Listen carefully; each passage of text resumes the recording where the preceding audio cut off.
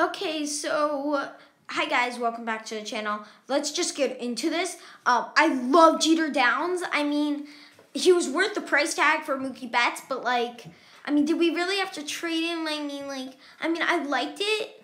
I like him, but like, I mean, did we really have to trade him? Uh, I love me some Francisco Alvarez. I think that he's going to be one of the better players in MLB. I don't think that he's going to be a superstar.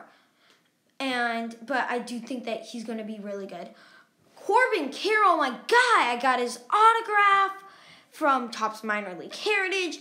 I mean, if you look at, at his stolen base numbers, wow, wow, wow. Um, and then you got Gr- Jordan Groshans, who I think is just going to be amazing. And I think that, I mean, he just has to stay healthy. It's a matter of staying healthy, and then he's amazing.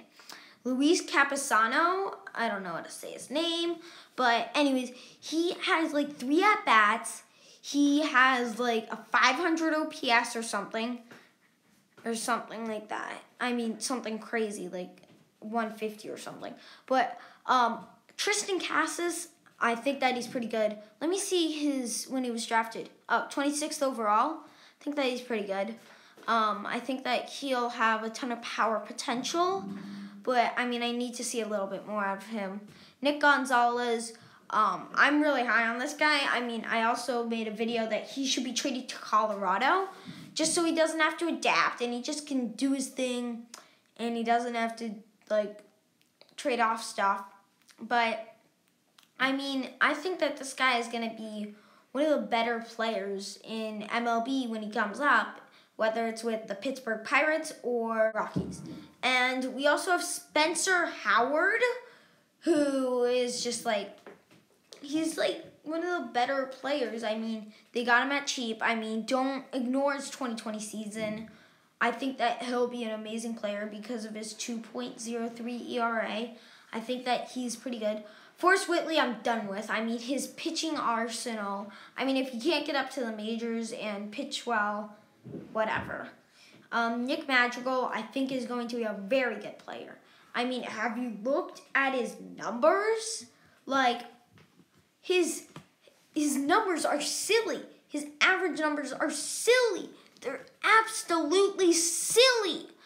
I mean, he just needs to hit a lot more home runs. And when I say a lot, I mean a lot. Because, I mean, like, he only has four, pretend, four professional home runs, and that was in 2019 where he had a very good year. Mitchell Kopech is one of like that guy that is just like he doesn't have very good control, but he can just flame throw. And when I say flame flow, I mean like flame throw. And um, I hope that this guy can bounce back in 2020 and come with the White Sox. Um, I think that he's going to be a pretty good player. Um, not amazing, but not terrible. I mean, it's like that guy that. Oh, also, Nolan Gorman is like a huge power hitter with a nice arm, but I mean, he needs to improve his everything else of the game. And I mean, like, look at his OPS numbers and his home run numbers. Like, it's silly what he did in his first season. I mean, he just has to repeat that again in 2021. Um, Matthew Liberatore, I think this is a little bit high for him. But I mean, when you look at his stats, it shows. And um, Nolan Jones. Um, first of all, I want to talk about Matthew Liberatore a little bit more because he is just amazing.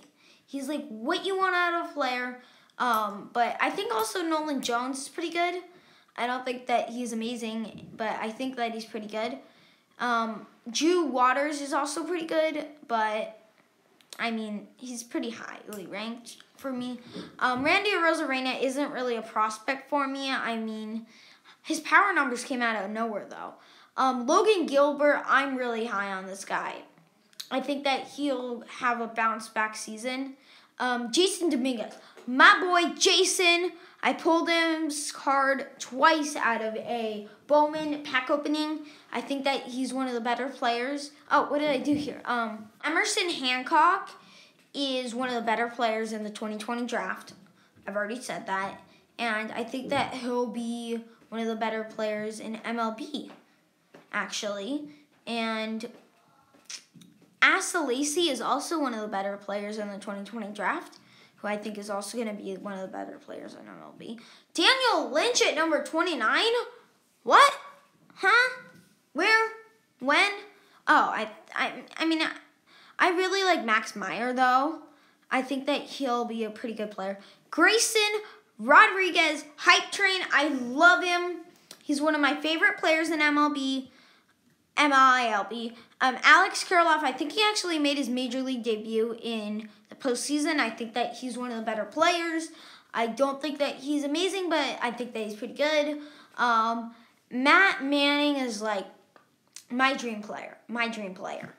Um, okay, so now we have Tarik Skubal, who had struggled in 2020 um, but I just don't think that he was ready. Um, I'm going to try to go th through these quickly, try to not make this 20 minutes for me, because I, by the way, check out my part one. Um, I think that Joey Bart is one of the better players in the catcher position. Um, I love Austin Martin. I love his game. I think that he'll be a shortstop. Um, I just think that he needs a little bit of development time. Riley Greene, one of the better players. I think that he's one of the better prospects. Um, JJ Bleday, he's from Vandy. Um, that he struggled in 2019. Luis Patino had a couple of bad starts. I mean, I'll just chalk it up to that. Um, his ERA isn't that really. Um, I think that Ian Anderson is pretty good. Um, Royce Lewis is still not called up yet. Wow. Um, Marco Luciano, I think that he's going to be a pretty good player. I mean, he's just amazing. 10 home runs and 9 stolen bases. Sixto Sanchez, one of the better players. I mean, if you just look at him, he's amazing. Um, Andrew Vaughn, he doesn't really have a place on the White Sox right now. I mean, maybe they trade Jose Abreu in a year. I mean, they could probably get a good package if you're really talking about things. And I mean, he's pretty good.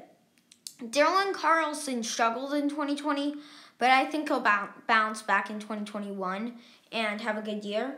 I mean, a lot of people struggled in 2020. A lot of the rookies, too. Cristian Pache, I'm on the Cristian Pache hype train. I think that he's pretty good. Um, Casey Mize is, you have to ignore that 6.99 ERA and look at that 2.55 and that 3.95 and it's 2.71 overall ERA. Same with Nate Pearson, you have to ignore that. I mean, just chalk it up to a bad season, bad couple of starts. I mean, his debut was amazing against Max Scherzer, but I mean, I mean, I still think that he's pretty good. Brian Hayes is like, he's just like, I mean, like, look at his play right there. He has a 75 field, 60 run, 60 hit, 60 arm, and the only thing bad about him is his power, and it's not really that bad. And I mean, like, you have CJ Abrams. I'm on the CJ Abrams type train. I think that he's going to be amazing. And I mean, like, he won the MVP of one of his, his things, and I think he actually hit 400 in one of his leagues. Um, I think Bobby Witt Jr. just had a pretty bad season in 2019. I think that I'll be bounce back.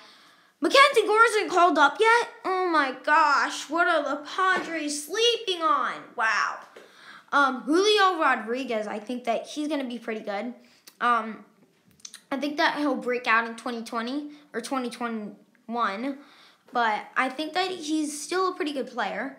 I mean, it's just unfair because he's going to come up in 2022 and they're going to have one of the best outfields with Kyle Lewis, Julio Rodriguez, and this guy, Jarred Kelenic. I'm just like on his hype train. Um, Spencer Torkelson, best player in 2020 draft, 70 power. I mean, you can give him a little bit more of a downgrade with his fielding and his running, but whatever.